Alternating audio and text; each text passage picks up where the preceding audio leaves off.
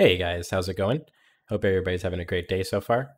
Today, we're going to look at enabling VMware Workstation inside of an Azure virtual machine. Uh, typically, the officially supported method to perform uh, what we're going to be doing, uh, which is called nested virtualization, would be to utilize Hyper-V.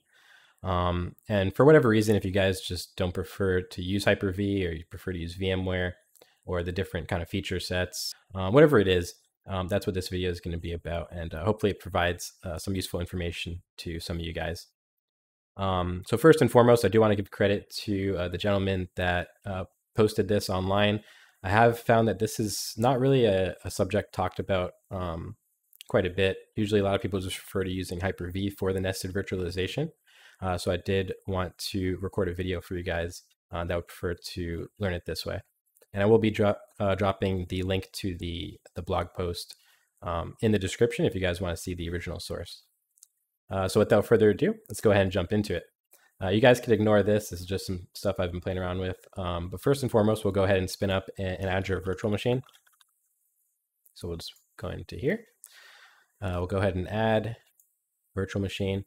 Um, and the particular image and size um, should not be of much relevance. Maybe the Windows image might, um, but this is what I tested it on, which was uh, Windows 10 uh, 2004 with the E4S underscore V, uh, V4 size. Um, so I'll be using that for this video. You guys, again, should be able to uh, use other uh, builds as well. Um, and for the resource group, I recently just created the lab, so I'll be using this, but you guys can, of course, create your own call this VMware test.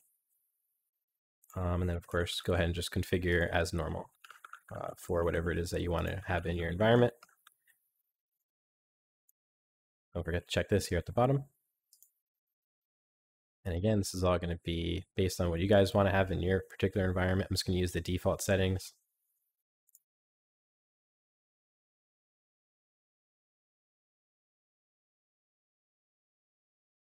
And we're going to go ahead and get this started.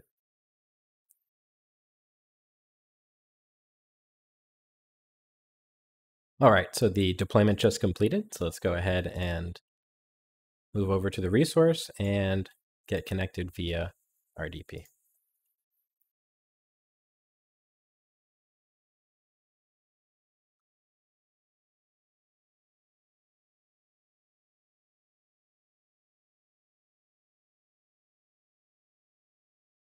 All right, and we're in.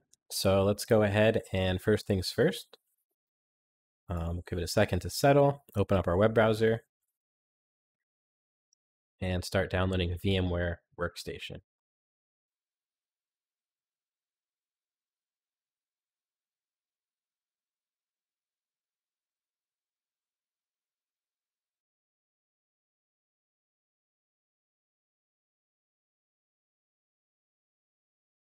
All right. You can just go to Google. I can just uh, navigate to the first link here. And I'll go ahead and drop these links in the uh, description as well, so you don't need to search if you don't feel like it. Um, let's go ahead and install this as soon as it's done. Just takes a few seconds here.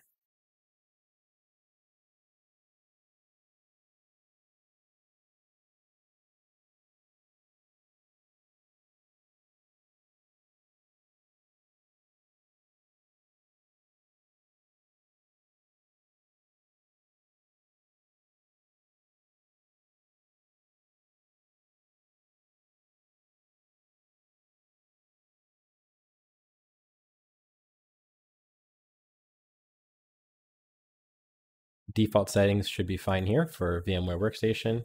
Now you can just uncheck this or however you want to do it.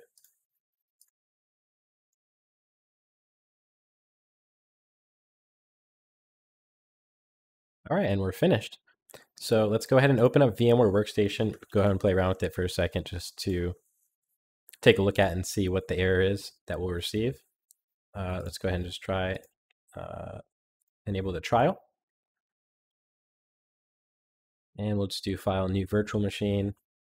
Just do typical, I will install the OS later. Windows 10 default values are fine.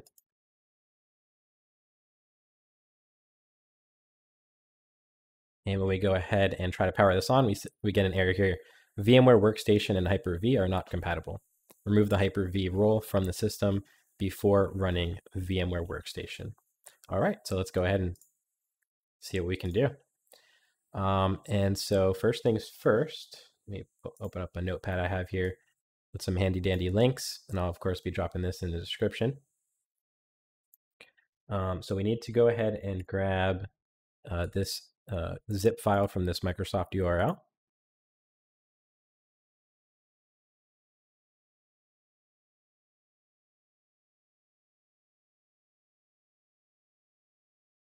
All right, it's already done. Go ahead and extract this guy. And what we're going to want to do is a shift right click within the folder to open a PowerShell window. And we're going to want to run a couple of commands here. So first things first, we're going to run this particular command. So let's just copy it. Right click to paste, press enter. And we'll do a capital R for run once. And we'll wait for about a minute or so. All right, the script finished and it says please reboot the machine for the settings to be applied. Uh, so we'll go ahead and initiate a reboot.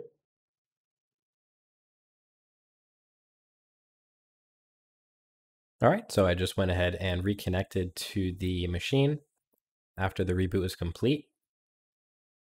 And now we want to do is we want to go back to the same directory. And open up another PowerShell window. go back to our commands here, and we're going to do these three commands. Let's do this disable.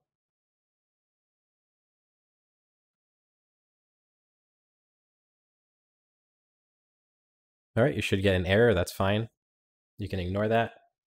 And what we also want to do is run these uh, commands as well.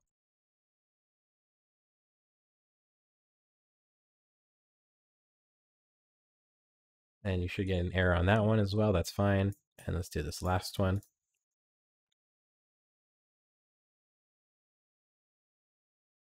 And let's give the machine one more reboot.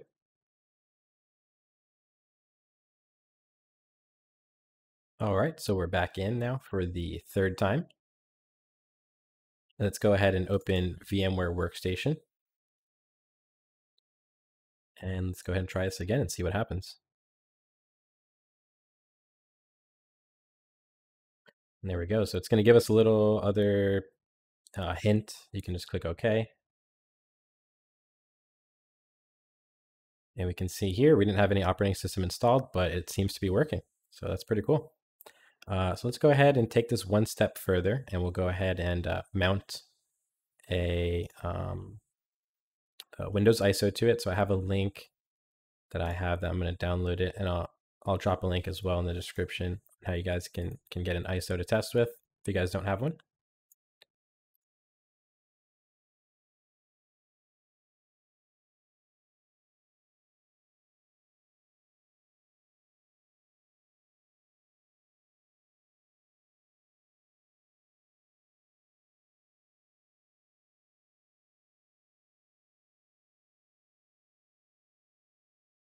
All right, so I just got my ISO uh, downloaded. So I'm going to go ahead and mount it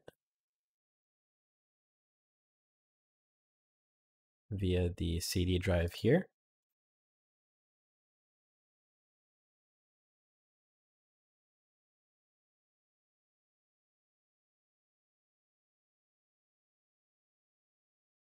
Restart it, and there we go. Let's go ahead and proceed with the Windows install. And let's uh, see if there's any bugs or anything.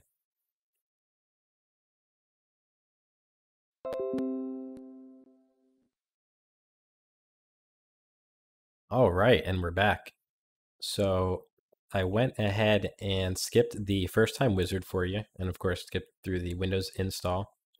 Um, but look at that, we're up and running with a Windows 10 uh, virtual machine running in VMware Workstation. Um, so let's play around with it a little bit further and kind of see if uh, everything seems to be working.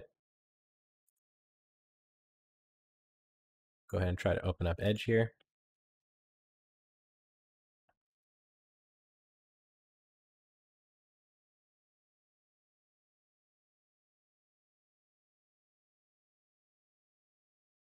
All right. Looks pretty good. Seems to be working. Let's see if uh, VMware uh, Tools works.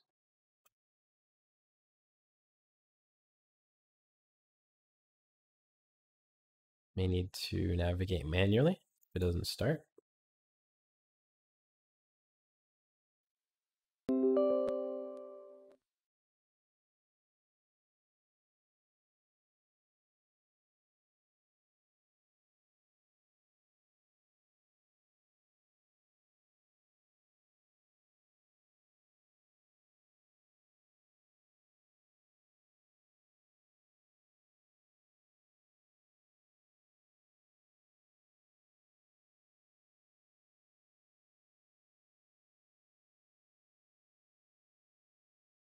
All right, VMware Tools seemed to install. Let's restart. Wow, look at that. So the resizing is already working. Looks great. It's of course going to prompt for a reboot here, but um, I'll just skip that for right now. Um, but there you have it, folks. Fully fledged virtual machine uh, via nested virtualization with VMware Workstation in Azure. Um, so I really hope that this uh, was helpful for you guys. Um, I have a couple of projects that I want to work on um, that I will be posting in the future. So stay tuned um, for some additional content leveraging uh, VMware and Azure. And I'm looking forward to getting that out to you guys. Thanks for watching and have a great day. Take care.